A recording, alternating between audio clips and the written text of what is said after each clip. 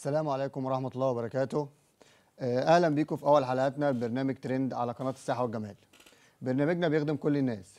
برنامجنا بيتكلم عن قضايا المجتمع والنهاردة إن شاء الله في برنامجنا هنتكلم عن أول قضية إحنا انتشرت بشكل كبير قوي على في المجتمع المصري وهي قضية التحرش. ومعايا النهارده إن شاء الله الكاتب الصحفي القدير الأستاذ أحمد شلبي. أهلا بيك أستاذ أحمد. بيك أهلا بيك. آه، رئيس تحرير دار الجمهورية ورئيس تحرير مجلة آه، وكالة أنباء مصر. أهلا بيك يا أستاذ أحمد. أهلا بيك يا أستاذ ياسر. آه، انتشر بشكل كبير قوي على ال social media آه، الفترة الأخيرة فيديو بظاهرة التحرش بش- بشاب أو برجل بطفلة في في حي المعادي. آه، انتشر بشكل كبير قوي المشكلة دي فإحنا عايزين نعرف إيه سبب المشكلة وما هي يعني ما هي مقاومات التحرش. والله عندما نتكلم عن التحرش هنتكلم عن التحرش بشكل عام هنقول إنه هو اضطراب سلوكي. يعوز بعض البشر وده بيعود لأسباب مجتمعية كثيرة جدا وأسباب موجودة داخل المجتمع. ممكن تكون أسباب بيولوجية أسباب سياسية اجتماعية تفكك أسري آه، في عشوائية في حياة آه، الفرد داخل المجتمع. دائما التحرش هو سلوك عدواني يميل إلى توجيه كلمات أو أفعال أو إيحاءات ذات طابع جنسي بالمتحرش بيها. دائما المتحرش به دائما المفعول به هي الأنثى وده دائما لسيطرة المجتمع الذكوري. فلما نيجي نعرف ال- التحرش تعريف علمي صحيح هنقدر نقول إن هو اضطراب سلوكي بيدعمه خلل مجتمعي وغياب دور الثقافة والتربية والتعليم والإعلام. هذا من شأنه. أما بالنسبة لحادثة المعادي فهي لها وجهة نظر تانية أخرى خاصة أنها تحرش بطفل أو بطفلة. آه، من جانب رجل آه، عاقل بالغ أكبر من آه، يعني عمره أكبر من 40 سنة. إذا مدرك لكل إيه؟ أفعاله. الحالة دي لابد أنها تخضع للدراسة. أو للطب النفسي حتى يكشف إيه الأسباب الأساسية لقيام هذا الرجل بمثل هذه الفعلة.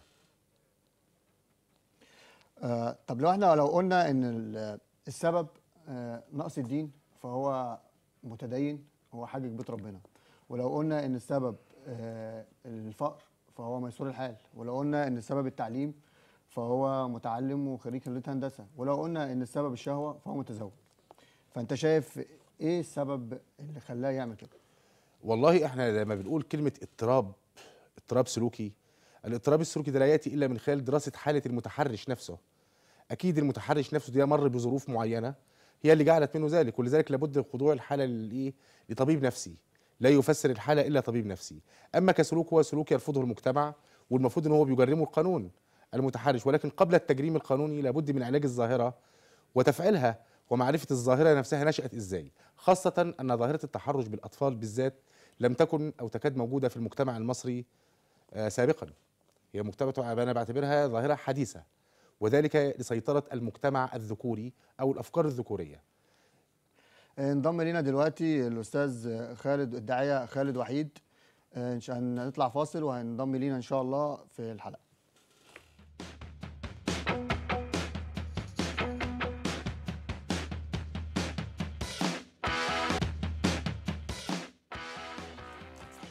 ورجعنا لكم تاني ونورنا الأستاذ الداعية الإسلامي الأستاذ خالد وحيد. أهلا بيك يا أستاذ خالد. أهلا بحضرتك والساده المشاهدين.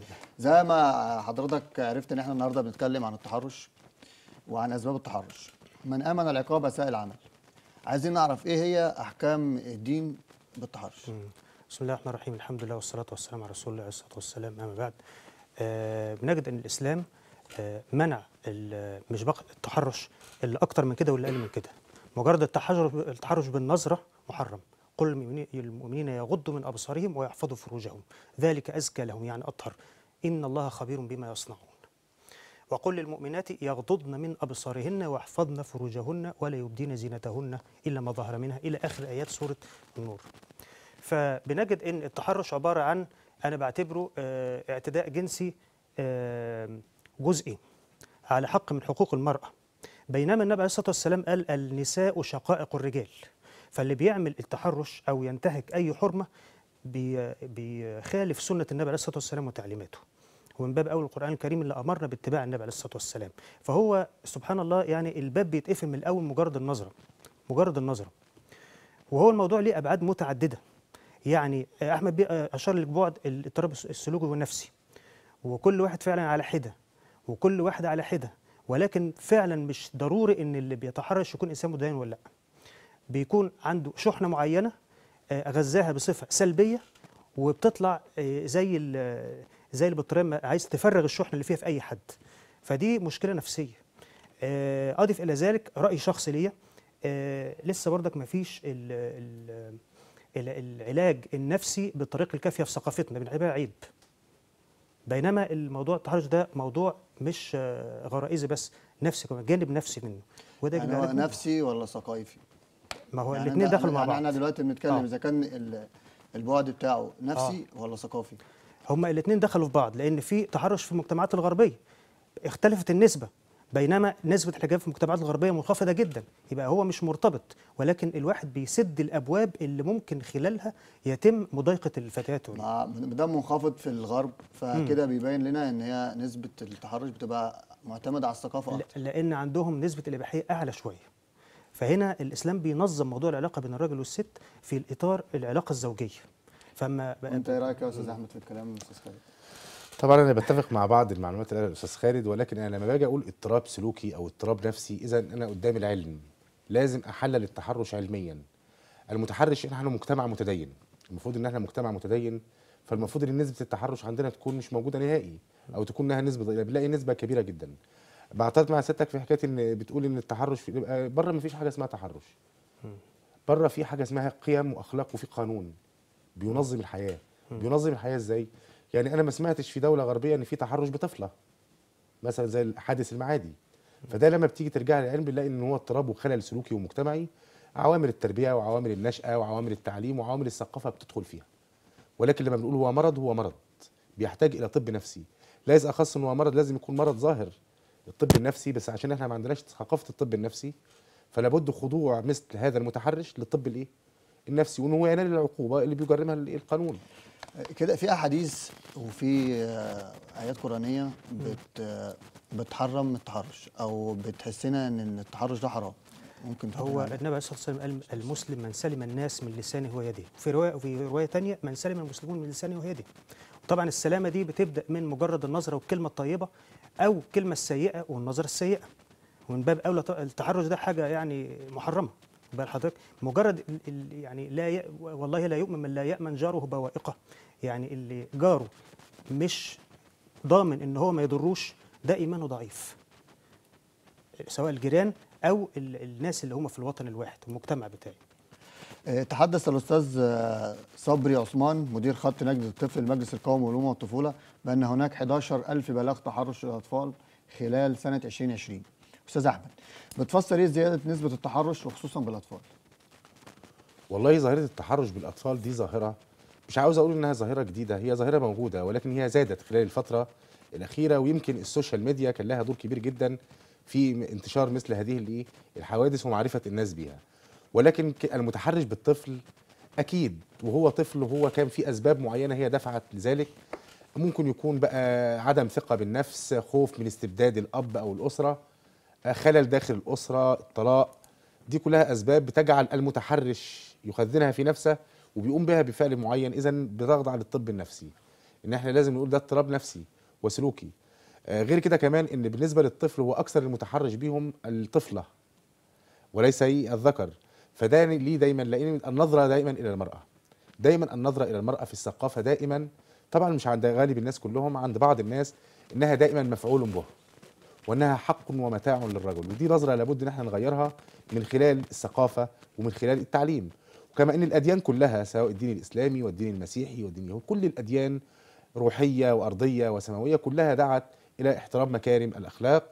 احترام مكارم الأخلاق اللي بيخرج عنها لابد أن يكون هناك عقاب وحساب قانوني رادع لمثل ذلك. طبعا بالنسبة للعقاب ده بقى بالنسبة للمشرع هو اللي بيضع العقاب الرئيسي لمثل ذلك.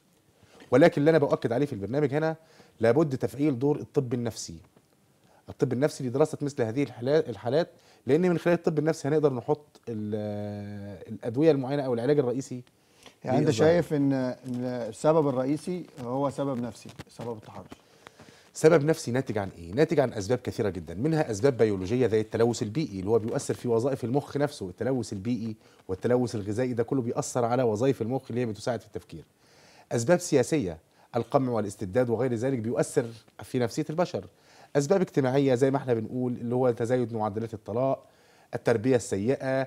طبعا مش عاوز أنسى المخدرات وتناول الكحوليات دي كلها ويمكن ظاهرة الأطفال بالذات الطفل بالذات بيكون المتحرش نفسه عنده آه، الدافع ولكن المخدرات وغير ذلك من بت- بتخليه يفعل هذه الفعلة لأنها بتذهب بعقله خالص. آه، أستاذ خالد. انتشرت بشكل كبير قوي على ال social media الفترة اللي فاتت. فيديوهات كتيرة للأطفال على برامج التوك شو. آه. آه، بت بت يعني بي- بيعملوا فيها آه، مواقف مخلة بالأداب.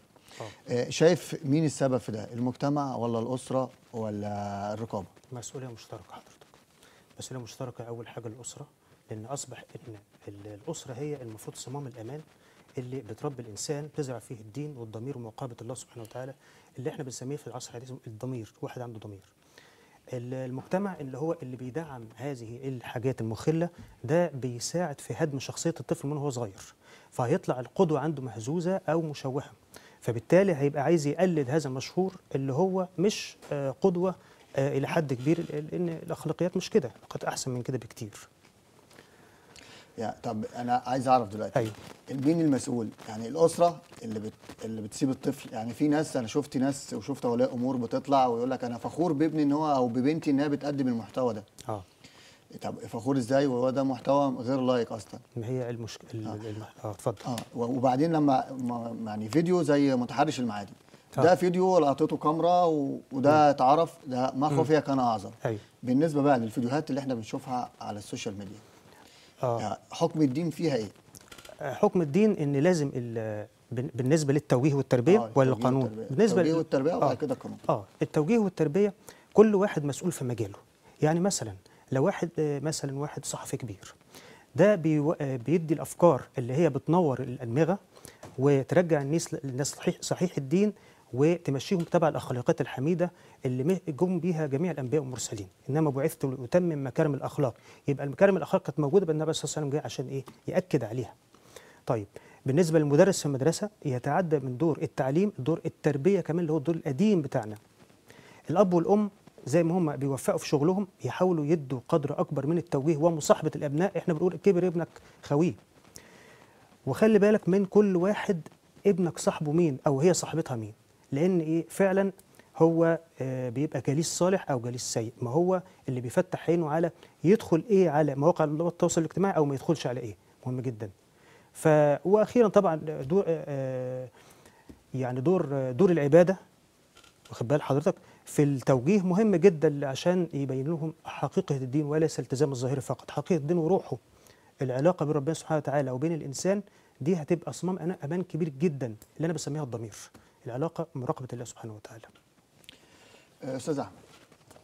ليه أغلبية المتحرش بيهم بيخافوا يقولوا أو بيخافوا يعلنوا إن في حد اتحرش بيهم؟ أو آه. بيخافوا إن هم ياخدوا حقهم أو هم يطالبوا بحقهم؟ هجاوب لك على السؤال ده بس أنا هرجع للحتة تاني اللي هي المسؤولية ودي يعني هتكون الباب بتاعنا في إجابة السؤال. إحنا لما بنقول المسؤولية مسؤولية مجتمعية. مسؤولية مجتمعية يعني تعني الدولة وتعني الأسرة وتعني الفرد. أما لما بنيجي نقول بقى إيه هي الأسباب الظاهرة أو أنت مسؤولية من؟ هي المسؤولية في النهاية خالص بتبقى مسؤوليه الفرد نفسه والرقابة. يعني لما بنيجي نقول متحرش طفل فده بيستتبع دور الرقابة على هذا الطفل. لابد من مراقبة الطفل بناء الثقة في الطفل زرع ال- الشجاعة فيه وعدم الخوف. طب أنا عايز استاذنك هنطلع فاصل ونرجع تاني. ماشي.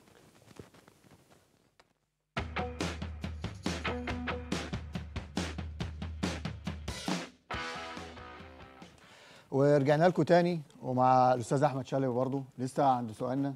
ليه أغلب المتحرش بيهم بيخافوا يطالبوا بحقهم؟ طالما في وجود خلل مجتمعي إذا المتحرش بيها بتخاف من المجتمع. دايما بتخاف دائما وأهل الضحية نفسهم أسرة الضحية بتحاول إنها تداري على الفضيحة خوفا من العار الذي قد يلحق بهذه الضحية. فده طبعا عشان نعمل الكلام ده لابد البناء الثقافي والبناء التربوي هو اللي هيحل المشكلة دي كلها من خلال اولا في المدرسة لابد ان الثقافة الجنسية وتعريف الطفل بكل جزء في جسمه لابد ان من خلال مادة دراسية لابد إن هو يعرفها بنت أو ولد. اتنين العامل التربوي بقى العامل التربوي بقى إلى جانب العامل التعليمي. آه الثقافة الرياضية والأنشطة الرياضية وأنشطة الموسيقى ده كله بيعمل دوافع عقلية عند الطفل إن هو ينمي الثقة بالنفس. لو إن الطفل ما خافش وبقى ثقته بنفسه ذاتية جدا هو نفسه هيبقى آه ترند إنه هيدافع عن نفسه هيقدر يدافع عنه من أي متحرش خاصة إن المتحرش دايما بيلجا للغة الإغراءات إغراء الطفل بحلويات إغراء الطفل بأي شيء خالص حتى يستدرجه. وممكن إن هو يخليه يدمن هذه من خلال العادة إن هو بيجيب له حلويات فهو خلاص بيروح معاه وبيخاف إن هو يكلم أسرته لأن مفيش انعدام للثقة مش بيه. مش للأطفال وبس إحنا إحنا بنتكلم إن العادة برضو للأطفال والكبار يعني أنت مثلا في بنات كتير بيتحرش بيهم آه وبيخافوا يتكلموا. سؤال يا أستاذي. إحنا قلنا دلوقتي قلنا خلل مجتمعي خلل مجتمعي اذا هو مرض وعرض واضطراب نفسي وكل الحاجات دي كلها موجودة في التحرش. المتحرش به لما بيكون طفل بتبقى حاجة شاذة. إزاي متحرش بيه طفل؟ طفلة ست سنوات. إيه مدى الإغراء في هذه الطفلة؟ فدي اللي محتاجة الطب النفسي. أما لما بيقول متحرش بال- التحرش بالمرأة عموما موجود داخل المجتمع وذلك بقى وفقا للثقافة المنتشرة. يعني ثقافة الثقافة المنتشرة زي ما أنا قلت دائما النظرة إلى المرأة إنها متعة. جنسية أو إن المرأة للمتعة الجنسية مفعول به. فدائما النظره للمرأة وحتى بيستندوا إلى بعض أقوال تراثية مش عاوز أقول من الدين بعض نصوص أو بعض نصوص لا أساس أو لا علاقة لها بالدين بيستندوا إليها في أن المرأة خلقت للمتاع وفقط. وده طبعا بيتنافى مع الأديان ومع القيم الأخلاقية اللي موجودة داخل المجتمع. طب أنت تنصح أي واحدة أو أي طفل أو أي حد من اللي اتحرش بيهم تنصحه إن هو يعمل إيه؟ لا أنا أنا الطفل نفسه ولا أسرته أنا أنصح الأسرة دائما. طب ما الأسرة ما بتعرفش؟ لا لا لا لا لا. لو أن استطاع الأب والأم والأسرة في بناء الثقة بأولادهم وزرع عدم الخوف والجرأة والشجاعة بصدق هيكون في صراحة ما بينه حتى لو في متحرش ما أكيد. دايما التحرش ده بيجي من طفل مراهق لطفل أقل منه في الإيه؟ في السن. لما بيكون في ثقة وصحوبية وصداقة ما بين الأم والطفل أكيد هتقدر تعالج الأمور. أما لو كان في بقى خلل مجتمعي وتفكك أسري وفقر وجهل ومرض وده كله بتؤدي في النهاية خالص بنقول قدام كارثة. أستاذ خالد طيب. إيه إيه هي الحواجز اللي حطها الدين للوقاية من التحرش؟ اولا آه، هقول لحضرتك آه، بجانب اللي الاستاذ أحمد بيقول عليه آه، النظر إلى المرأة إنها مكونة من أربع حاجات عقل وقلب وجسد وروح مش جسد بس ده هيفرق كتير. من باطن كلام النبي عليه الصلاة والسلام النساء شقائق شقائق الرجال. ليه الإنسان ما يحبش يعتدي عليه وإنت ممكن تعتدي على المرأة؟ ما هو النساء شقائق الرجال ما ينفعش. الحواجز بدءا من غض البصر واخد بال حضرتك؟ تاني حاجة ال- كنظام مجتمعي الجواز. تالت حاجة موضوع ال- القانون. بنجد في, ال- في الإسلام إن ال- دي حاجة بنسميها الفراغ التشريعي. فترك ول- لولي الأمر اللي هو دلوقتي المجلس المجالس التشريعية هي اللي بتضع قوانين وضعية مدنية هي اللي بتعاقب التحرش لأن الظاهرة دي من الحاجات اللي ظهرت حديثا آه، كثرتها. وبالتالي القانون بدأ آه، يعاقب عليها.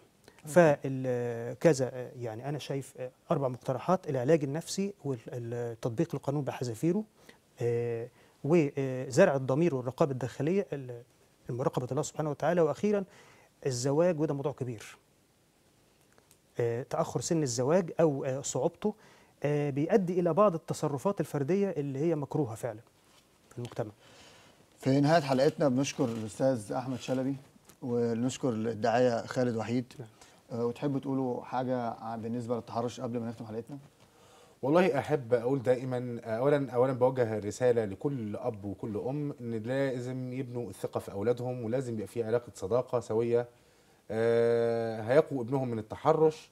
أما ان المتحرش فأنا بطالب بوضعه تحت آه، الطب النفسي ولا بد دراسة مثل هذه الحالات حتى نصل إلى نتائج مرجوة لالغاء هذه الظاهرة. شكرا يا أستاذ أحمد. آه، في النهاية أقول للمتحرش كلمة النبي عليه الصلاة والسلام لواحد كان عايز يروح يفعل فاحشة. فالنبي عليه الصلاة والسلام قعد يعدد له من قرايبه أطرده لأمك؟ أطرده لعمتك؟ أدرته لخالتك؟ فقال له لا يا رسول الله. فقال له كذلك بقية المسلمين. فدي كلمتي الأخيرة ليه وأفتكر محدش يقدر. بنشكر أستاذ خالد ونشكر أستاذ أحمد وانتظرونا في حلقة جديدة من برنامج في ترند وقضية جديدة إن شاء الله.